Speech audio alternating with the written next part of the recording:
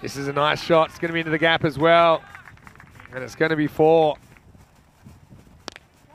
Right in the air, and he's going to come into play here, but it's straight over his head. Maximo.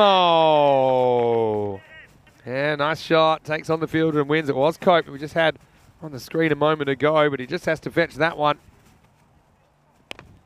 He does hit it. Does he clear the man? He. Oh, no. And it was a free hit, too.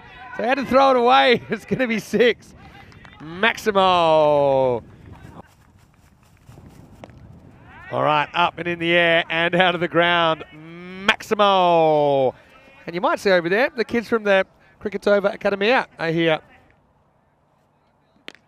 All right, well, time for more. And this is another one in the slot that's going to disappear. Abracadabra, Maximo.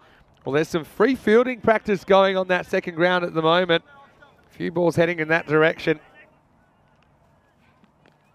Yeah, this one's top edge, hanging in the air a long time. How far is it going? It's going one bounce four. Oh, top edge and gone.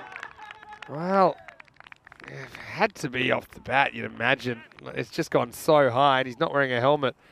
So, yeah, we'll check it out. It might have actually, might have flicked his cap on the way up. But yeah, for me, it seemed like a big top edge.